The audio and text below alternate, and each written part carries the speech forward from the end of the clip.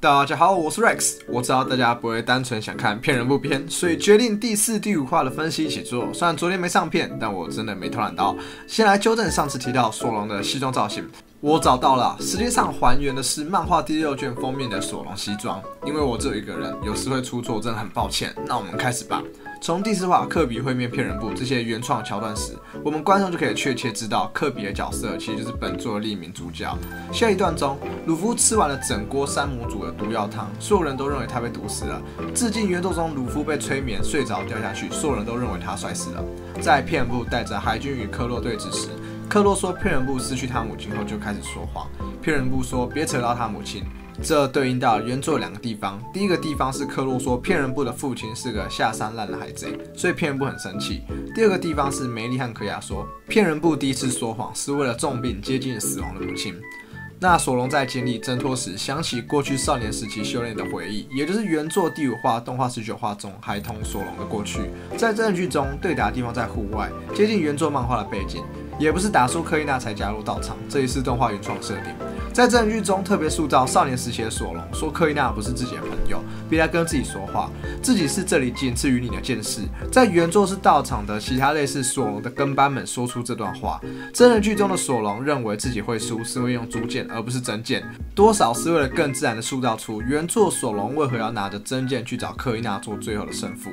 将视角转到骗人部，为了拯救可雅，他爬树去敲窗户找可雅，就跟动画一样。不过原作骗人部不用爬树就可以在一楼找可雅了。那真人剧中骗人部做出了和原作不同的举动，既然没办法拉可雅逃走，就直接待在房间面对克洛。因为原作骗人部要被守卫加上村民们和梅丽枪杀，不得不先逃走。在克洛下达杀戮指令后，山姆和布奇都穿上类似原作中的服装。说真的啊，让山姆变成女生，然后穿这服装，绝对是真人剧最成功的改编之一。呃，否则，嗯，对，那腿毛哈。那总之呢，真人剧加上了科雅会重病，是自从克洛来之后搞的鬼，不是原作中因为失去父母才精神重创而得病。克洛愿意待这么多年，就是为了等到自己取得可雅信任后，得到船厂经营权后，好杀死可雅，却不会让村民们怀疑，因为村民们都知道可雅重病多年了。那下一段剧情中，索隆徒手攀岩，想要逃出井中，并且又跌下去，再度爬起来，很像是黑暗骑士黎明升起中的布鲁斯四死一搏，成功逃出监狱那段。在索隆与古伊娜决斗中，索隆最后落败的方式和原作几乎一样，唯一的不同是，因为大家也学过的高中物理，告诉我们刀掉落的速度不会比两人决斗完还要慢，所以原作是古伊娜先将刀刺在索隆旁边，索隆的两把刀才掉落，和真人剧的顺序是不一样的。之后，索隆对科伊娜说：“杀了我吧！”我没记错的话，因为在武士道中，真剑胜负通常就是决一生死。那真人版的索隆比较傲娇，看见古伊娜因为自身性别而感到低落时，才终于脱口说出了自己一直以来都以她当做目标。两人也在此立下了如原作那样的约定，而科伊娜也念出了自己的全名——双月克伊娜。这是在原作非常后期和之国篇才揭露的。科伊娜其实是打造出研磨以及河道一文字的传说道将双月跟三郎其孙女。这里得再强调一次，真人版果然有尾田监督，真的非常用心。那在可雅带片部等人逃到隐藏的房间时，片部因为蜘蛛吓到，整个人都跳起来了。首次对应原作中片部那胆小的个性，我是觉得塑造的有点太慢了，但算蛮正常的。毕竟现实中更多人胆小的一面是害怕蜘蛛和昆虫那些。下一段我们的索隆总算要爬出井了，回忆起克伊娜之死，索隆向师傅跟次郎请求将克伊娜的刀交给自己，跟次郎回答：“这是把稀世宝刀，为何要给你？”带出的真人剧似乎也和原作一样，河道一文字是大快刀二十一宫的其中之一，市价一千万贝里。在真人剧这里啊，比起原作，跟次郎一听到索隆要刀就一口说好，更偏向动画原创中。因为听完索隆与科伊娜的约定，还有看见索隆的决心，才决定将女儿的遗物交给索隆。那索隆爬上井这幕有新月哦，如同原作设定，克洛在新月时能力会大幅度的提升，所以真人剧的克洛或许比原作状态要更强。那索隆爬上井后，恰巧看见了刚醒来的鲁夫，顺便给了贝鲁梅伯一拳。鲁夫高兴地说：“索隆，你是专门来找我的？”索隆回答：“我是想回屋子，但不知道为何走到了这里。那这条路其实是出口，所以跟屋子是反方向。”再次强调了索隆是路痴的设定。回到屋子中，在真人剧《克洛必须原作》更强调自己多讨厌当可雅的管家，认为可雅浪费了天生的资源。和原作一样，索隆负责对抗猫人兄弟。呃，还是我要说猫人兄妹。另一幕就是克洛要对可雅出手时，鲁夫及时赶到，伸出他的手臂拦住克洛。这幕是改编自原作，克洛要干掉骗人不死，鲁夫伸出拳打倒克洛。真人剧不这么做的原因，大概是为让克洛别那么早掉逼格。之后也向原作展现无声部啊，那鲁夫四处转头找克洛在哪里。克洛向鲁夫说自己想要安稳，所以计划了这一切。原作是向可雅说的同时，鲁夫等人一起听到的。在下一幕，索隆因为二打一，所以拔出两把刀，这导致第三把刀被山姆偷走了，被随便射到一个柱子上。原作中，索隆因为只打山姆，所以手上只有一把刀，因此是两把刀被偷走的。两部的共通点是被偷走了都有最重要的河道一文字。那和克洛决战中，鲁夫和原作不同，是先嘴爆克洛，放弃所谓海贼梦想和野心。原作是打到克洛同时说的，并且真人剧打到克洛第一拳的方式是认真的听克洛的脚步声，和原作因为克洛直接冲上来脑冲，所以被鲁夫反击到不同。最后如原作一样，乌森部还来不及展现，就被鲁夫抓住，被一招橡胶钟摆给击飞了。动画是有加戏，乌森部的状态下被鲁夫抓住才被击败的。那为何鲁夫要用橡胶钟摆呢？因为原作三十九话击败克洛这话，正是叫做钟声为了某人而响起，而真人剧中似乎也是对应的这一点。原创的片部从小说谎时都会打响村子里的钟声，这钟啊算是鲁夫打克洛响起的，但也是片部为了可雅而打。好家伙，尾田肯定也有想到这一点。之后，如原作，可雅将船赠予了鲁夫等人。在证据中，梅丽是名律师而非管家。鲁夫为了纪念死去的美丽，将船取名为“前进美丽号”。可雅此时穿着的衣服是我先前提过了，《海贼王》彩色漫画版中六百二十三话飞叶的粉色洋装，再加上动画版中外出时套上的黄色大衣。那在本画第四话和原作骗人部自己决心出海不同，是可雅鼓励骗人部出海，告诉他自己的梦想是念书当医生，就跟原作设定的一样。可雅告诉骗人部，以后想要听到真正的骗人部船长的故事，在离别前亲吻了他，表达自己的心意。和原作那种纯友谊不同，也收回了前面第三话骗人部问鲁夫可雅喜欢自己妈的伏笔。同时，鲁夫也给出吐槽。我才是船长吧？对应原作邀请骗人部上船后，骗人部说自己是船长。鲁夫的回应，最终给的观众镜头是梅利号前往海上，同时响起了经典动画版 OP One VR 的变奏曲。索隆躺在吊床上，和动画中梅利号的男生房间非常类似。骗人部所在厨房也是啊，不管是大门还是透光的天窗，都和尾田设计图中的梅利号非常类似。整个设计都是用心在还原呐。那鲁夫当然也是如原作那样坐在梅里号的船首像，十分还原经典。下一幕如原作四十二话，骗人部画了以自己为船长的海贼旗是个笑点。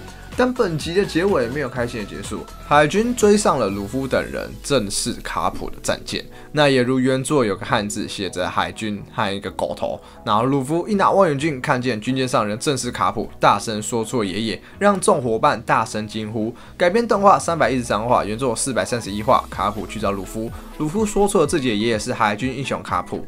那从此时开始第五话分析吧。卡普为了追击鲁夫啊，决定用手丢出炮弹。这改编自原作中经典的卡普招式——全骨陨石。那面对全骨陨石，鲁夫如原作用出了橡胶气球。比起动漫中的卡普啊，一脸就是对孙子放海的。真人剧的卡普似乎对没抓到鲁夫这点充满了复杂的感情，而科比拯救了贝鲁梅伯不被传感压到，开始铺陈贝鲁梅伯会慢慢被科比的人品折服，最终成为真正的朋友。另一边伙伴们对鲁夫的制造感到惊喜，因为之前没看过。鲁夫说自己是第一次使用，因为在原作十五话是为了对抗八旗炮弹才首次使出橡胶气球的，在真人剧因为没对上八旗炮弹，所以才是首次使用。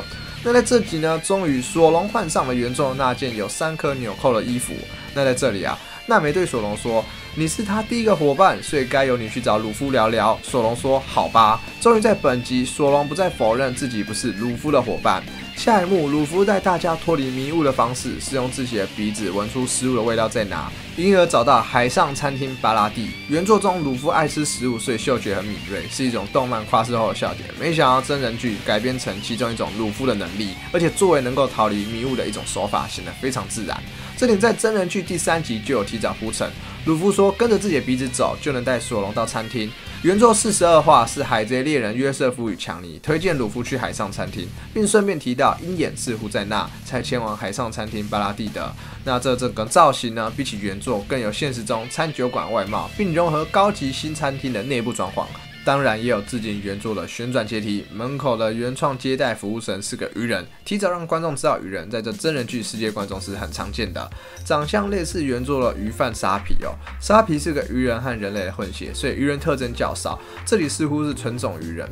那登上巴拉蒂后的骗人部改变了穿着，这身造型是出自尾田荣一郎画集《Color Worker Four》的骗人部船长造型。娜美的衣服则是改编自原作巴拉蒂篇娜美的服装，只不过真人剧将原本图案 WB 改成更加时尚、更性感的镂空设计。那索隆因为佩戴着刀啊，所以没办法坐右边的位置。服务生问需要帮索隆保管吗？索隆说不用。再次强调，如原作设定，索隆就算睡觉也都不会离开他的刀。那下一幕，香吉士独创了大象真尾鱼料理。这个大象真尾鱼呢，是出自原作九十八话，动画五十一话，就是沙皮卖给香吉士的珍稀食材。且香吉士的厨师状也是十分还原原作。在真人剧还特别解释，香吉士身为一个厨师，怎么会穿西装端餐出去呢？原来是被泽普赶出去，要香吉士去招待客人。和原作香吉士的料理早就被认同，可以端上桌去招待客人不同。那在我们现实中啊，法餐的厨师出去面对客人，通常会穿上利剑干净、专门面对客人的厨师服，而不是西装。这里的改编是因为香吉士其实是以服务生的身份，所以穿上西装。那真人化对原作香吉士经典的西装造型做还原，同时融合了现实法餐的要素，其实是很用心的。那如原作香吉士看到有人浪费食物就爆气，贬的其中一人很明显就是原作一样被香吉士贬的海军双铁拳分不敌。那红衣女士也是原作分不敌的女伴，吐槽下卡普的称号是铁拳卡普。分不敌一个双铁拳，是要说自己比卡普更强吗？那我们继续。香吉士因为看见娜美，所以变得更认真介绍推荐酒类，如原作一样是喜爱美女的个性。只不过和原作不同，娜美并没有认为香吉是这样很绅士。如现实的女性通常不会马上接受眼前男人突然展现的好意。将镜头转到海军，科比对卡普被请求附近的海军支援感到困惑，因为此时的他并不如原作知道卡普其实是鲁夫的爷爷。